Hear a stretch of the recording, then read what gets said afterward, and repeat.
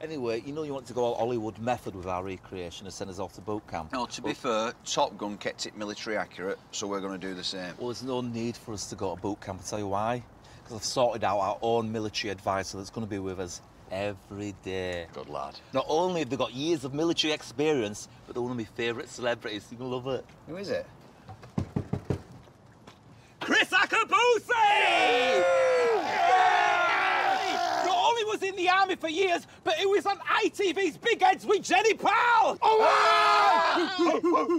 Hey! Tom Cruise!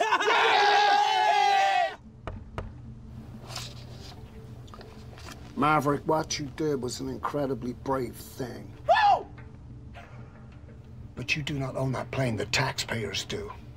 Son, your ego is writing checks your body cannot cash.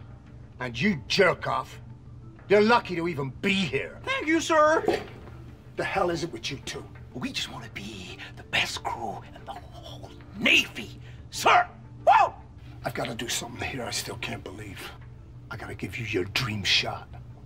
You two characters, you're going to Top Gun. Gentlemen, for the next five weeks, you're going to be flying up against the greatest pilots in the world, gentlemen.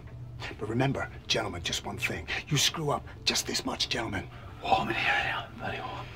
And I tell you, you're going to be flying a cargo plane full of rubber dog turd out of Hong Kong, gentlemen. Gentlemen, dismissed. Oh, gentlemen. Good luck, gentlemen. Woo! And cut. Ah, Guys, guys, guys, that was fantastic. You were brilliant. Oh, jeez. Oh, you were brilliant, you guys. Wonderful. Was it just like the real Navy? Like the Navy? Yeah. I wasn't in the Navy. I was in the Army, and that's very, very different. That's a long time ago, my friends, but now I'm a motivational speaker. Check you out.